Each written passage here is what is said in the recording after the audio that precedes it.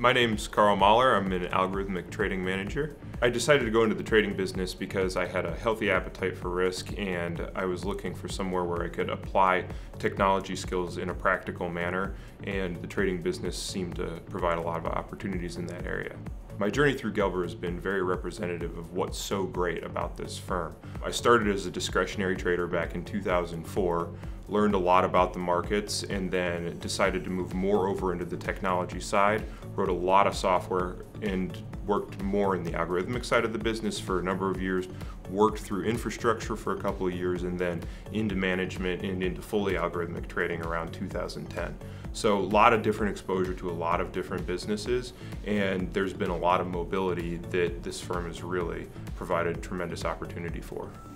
To succeed in the algorithmic trading business, one really needs obviously a lot of technical skill, but more importantly, a lot of ingenuity. One of the really unique things about how we manage algorithmic traders is by allowing them to find their niche, find what they do best, and then to really, really dive deep into that. In my group, we have developers, we have researchers, we have traders, and everybody sort of crosses a lot of boundaries and really forms a partnership with the other people that they work with. We really believe that lower barriers between the members on an algorithmic trading team is what causes our success.